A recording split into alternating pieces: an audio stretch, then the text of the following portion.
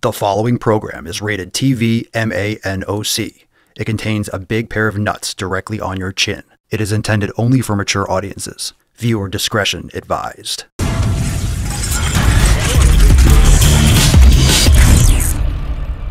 What's going on, fam? It's your boy, Papa Swolio, back with some more nuts on yo chin. I know your chins are still warm from the sack, but here it is yet again. There is more of this Instagram nutrition mumbo jumbo that is being spewed every which way, and I'm here to clarify for those of you that really want to take your nutrition seriously and erase all the fucking bullshit and all the smoke and mirrors around it. That's why you're here. Before we do that, make sure to also subscribe to my second channel, Daily Swole Podcast. Links in the card in the description down below. That way you can catch the live streams for the daily podcast every single day. Daily podcast every single day. You can also subscribe to your favorite podcast app and you can find the Daily Swole podcast everywhere. So I'll put the links in the description down below. Make sure you subscribe.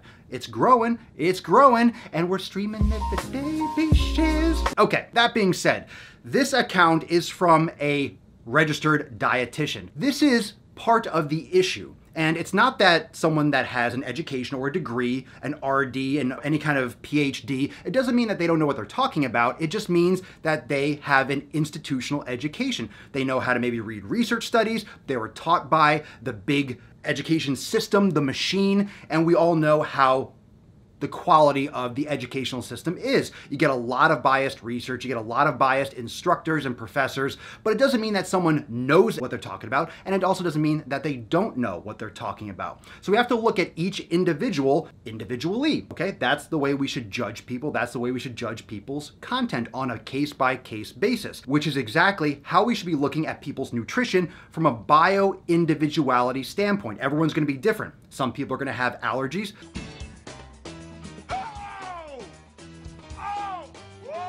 Some people are going to have sensitivities, and some people can seemingly get away with whatever they want. Now, this is not a calorie counting debate versus a quality of food debate because both are important. From my standpoint, the quality of the food is absolutely imperative. And also, if you're eating a caloric surplus, you're going to gain weight. If you're eating a deficit, you're going to lose weight. But there are other factors in just counting and measuring numbers. There's also the other issues and side effects that you can have with food. And a lot of you already experience some of these things. Move, bitch!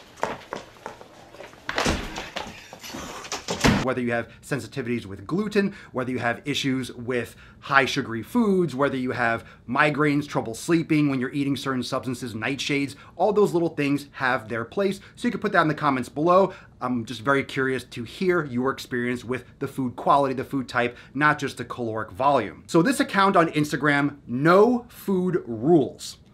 Okay, from the name, obviously, there's no food rules. In her bio, there's an avocado, a little information desk woman, and it says inspiring food rule breakers. Now, me personally, I like to guide people to form better habits so they can break from measuring every last detail. Measuring from the get works for some people, but focusing on food quality from the get works with other people. Of course, caloric surplus or deficit matters, but some people like to approach it from a wholesome food, high fibers, vegetable, more of like habits, cooking better, making better choices in the supermarket, rather than trying to restrict and calorie count highly addictive processed foods. So everyone has their successes and their failures with both. My approach is to first go after quality. That's my approach. And my issue with the quality of the food and the lack thereof in processed foods is not whether or not someone can get away with it. It's not whether or not someone can have a Pop Tart or a soda and still lose weight or still be perceived as healthy.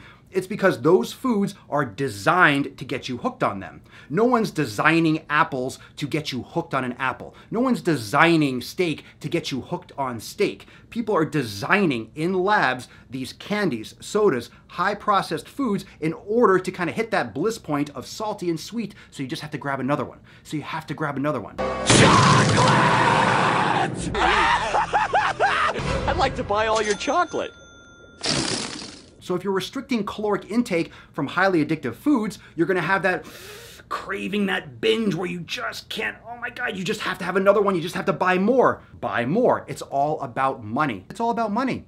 That's why these companies make food. So you can buy them so they can make money. If you think it's about anything else, it's not. It's about making money. Money.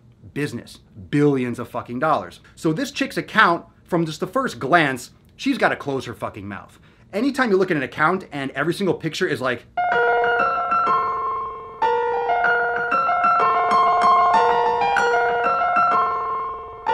with a donut, with the muffin, everything's. How fucking fake is that? Close your fucking mouth.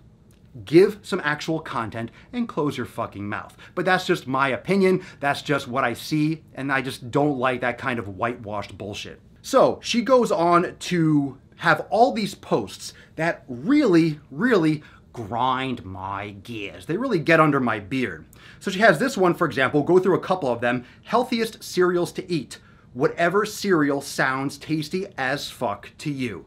Really? That's good advice to people that are addicted to food. That's good advice to a population that is suffering from absolutely astronomical issues from type 2 diabetes and obesity. This is a good post. Understand that most people aren't going to have this objective higher education standpoint where they can dissect and understand what you're trying to say. They look at this and be like, wow, I can eat any cereal that I want. Good idea. No, they're very high in sugar, they're very fucking addictive, and a lot of people are going to consume things that have other side effects and other issues that they should be avoiding because they don't have proper healthy fucking habits. That's why they should be coming to a registered dietitian, but this is an example of why they should not be coming to this person. And then you have other posts, other socially appropriate PC posts, like having curves is okay, not having curves is okay, judging others' bodies is not okay, and of course you got the standard judging others' bodies. Look, this is social media, this is human communication. You could judge whatever the fuck you want. Humans judge all the time judge all the time. You judge danger, you judge the weather, you judge all the time. You're always assessing your surroundings and you're always formulating opinions to protect yourself, to go hunt, like whatever it is naturally from an evolutionary standpoint, and whatever you're doing in your daily life. You're always assessing and judging. The issue here is not what someone is doing, judging other people's bodies. Judge whatever the fuck you want. What needs to change is the individual that's being judged needs to not give a fuck what other people are saying. You have to wall yourself off. Who cares what someone else says? If you are secure with yourself and you understand who you are and you are comfortable with yourself, it doesn't matter if someone else can judge. Let them judge because they're going to. So get over it. And then she has another one. If you eat donuts fast enough, your Fitbit thinks you're running. so professional for a fucking registered dietitian. Then her next picture, eating fucking donuts. Lie. You can't have a burger and a bun at a barbecue. Truth, a burger with a bun is delicious and patriotic as fuck. Yes, processed carbohydrates for people that have issues with processed carbohydrates. Good move calories at a barbecue. Just eat whatever sounds delicious as fuck. These are bite sized little shit nuggets that you will find on Instagram because when you're scrolling, it's easy to look at one of those infographics, pick up information, and move on. Not everyone reads the captions. And the captions are bullshit as well, they just facilitate the picture. So you have a picture of whatever fucking mayonnaise infused potato salad, you have potato chips, you have a greasy bun processed burger, you have a shit fucking hot dog, you have watermelon watermelon's fruit, love watermelon, and then you have a cookie. So at a barbecue, just eat whatever the fuck you want, eat whatever sounds delicious as fuck. Really? Really? This is coming from someone who claims to be a registered dietitian. Do you see the problem here? This bothers me. If you have everything on lock and you are willing to eat junk food and you're fine because, you know, once in a while eating something shitty, you're not gonna fucking get diabetes, you're not gonna have cancer from one fucking thing. You know, there's a lot of chaos and stuff that we're not aware of in this life. We're not aware of every single nuance of every single variable that we introduce in our lifestyle. But I don't think you should be telling people to just eat whatever the fuck sounds delicious. You think that's good? For people that are addicted to fucking food? You jabroni? Or jabronette. Healthiest carbs to eat. Stop overanalyzing. These are all freaking fine. So let's see what she's comparing to as being the same. They're all fine. A sweet potato, a regular potato, bread, Triscuits, or whatever, wheat thins, whatever the fuck that is, some kind of rye bread pasta. Okay, some people have major fucking issues, and it's not just people with celiac, it's people that have gluten sensitivity, and millions of people suffer from this. Maybe you are not one of them, but a lot of people are one of those people. What I'm trying to do here with my channel, my content, you have to understand your individualized nature, your individual gut biome. You need to understand that you can test these things. You are not the same as her. You are not the same as someone else. You're not necessarily the same as your mother, your father, your brother, and your sister. You are you. And you have to understand you are in control of your nutrition. You're in control of these decisions that you make. And you're not subject to how you feel. You can change that. You can improve. For some people, they might be able to be a little bit more lax with their nutrition. Other people, you really have to fucking dig in and take stock in your own health. You're not at the victim of just whatever's available. You have a choice. Everything you fucking put in your mouth is a choice. It's your choice. And if you're having issues, you need to understand that these are not all the same. They're not all the fucking same. They're not. Why? Because they're fucking different things. Look at them, the picture. They're different fucking things. It's that simple. This is how I cut carbs. Oh, she's so funny. She cuts them. Binge causing foods. Whatever deliciousness that you restrict is the deliciousness that you binge. So don't restrict yourself from foods. Hey, don't restrict yourself from alcohol, you alcoholics. Just drink whatever you want. If you restrict yourself, you're gonna really crave it. So just have at it. You think that's a good thing? No, it's not. And some of you might be saying in the comments that, well, alcoholism and getting addicted to processed sugar is not the same thing, but there are a lot of similar responses and similar properties in the body. Addiction is addiction. And if you look around, no matter where you go, people are obese, they're hooked on this shit, and they can't stop.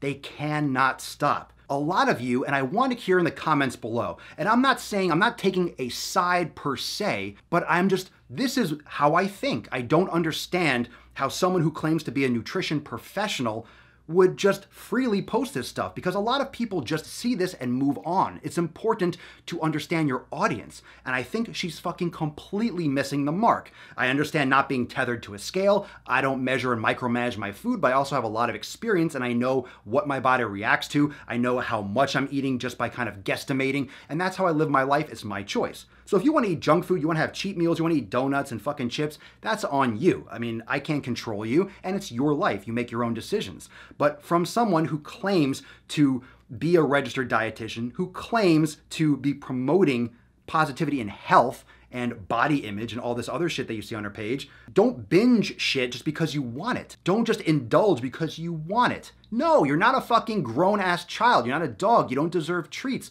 Like, this is why people are already fat because they're not restricting themselves and they fucking need to.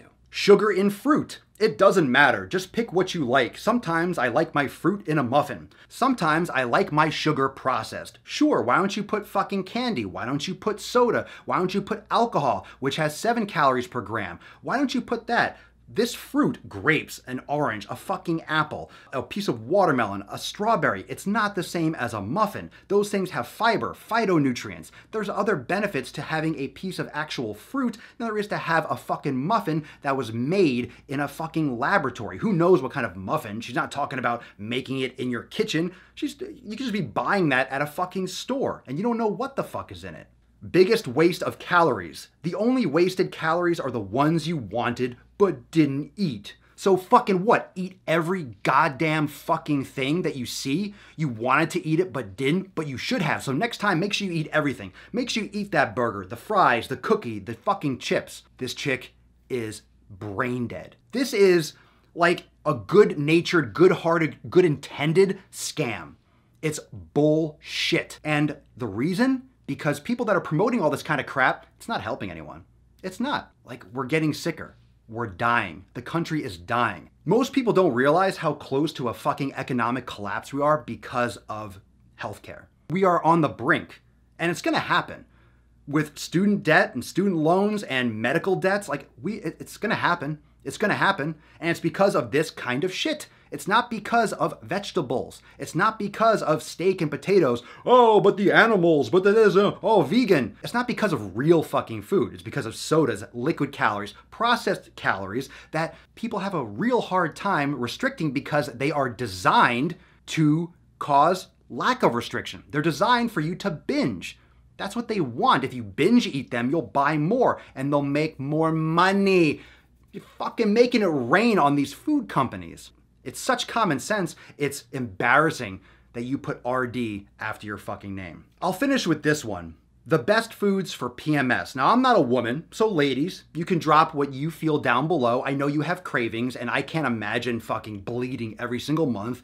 That sounds like it sucks, and I'm really glad I'm a dude, and that has nothing to do with sexism, but having a period really sounds like it fucking blows. So, a lot of sympathy for dealing with that. Best foods for PMS. You're already in pain, bleeding, and moody. Don't be more miserable. Eat what you want. You got a picture here of whatever cream jizz covered carrot cake that is, a cookie. You got Skittles, you have other cookies, you have chocolate, and you have chips. You can binge and eat whatever you want on your period for two days and destroy your entire dieting and your caloric restriction for the past two weeks. It's so easy to go over in your calories for three days, four days, whatever you deal with, however length of time is that you deal when you're on your menstrual cycle, ladies. Two or three days going five or a thousand, 500, a thousand calories over your required intake because maybe you're in pain, you're not exercising, you're not expending as much energy. So you do 500 to 1,000 calories more for a couple days and you eradicate everything you've done maybe in the past week or two weeks. So yeah, go for it. Don't be more miserable. Eat what you want. Every time you have your period, just fucking binge and then wonder why you're bloated. Wonder why you have extra fat you can't lose. This is a fucking problem. This is just just evidence that Instagram fitness and Instagram nutrition and just what people put out there on the internet. You need to scrutinize this shit. Just because someone has some letters after their name, it doesn't mean they know what they're talking about. And it doesn't mean that they're providing information, albeit maybe with a good intention because of all the pictures, it doesn't mean that it's going to land with the right people because everyone's looking at this. People that are addicted to food, everyone's looking at these pictures. And although maybe a couple people get the message because they go deeper into your funnel, but more often than not, a lot of people see this as an excuse to eat garbage because someone with a degree or a credential says so. So let me know what you think in the comments. I hope you enjoyed these nuts on your chin, and I hope you keep an eye out for more of this bullshit. And feel free to send me anything else along these lines that you see because this is rampant, it's everywhere, and I really hope that this stuff cleans up really, really soon. So thank you so much for watching. I appreciate it. Make sure you subscribe also to my second channel, Daily Swole Podcast, so you can enjoy the knowledge cock every single day, live streams every day on the Daily Swole Podcast channel. You can also subscribe to the podcast on your favorite podcast app. Links in the cards in the description down below, and I'll see you next time for some more nuts on your chin. Peace. Fucking bullshit. Every fucking time I go on Instagram, every fucking time I see more of this shit. Who's that fucking happy every day? Who's that happy? How fake can you get? At least show one picture where you're grumpy. Turn that vibrator off for a fucking second. Every picture, like, zzz,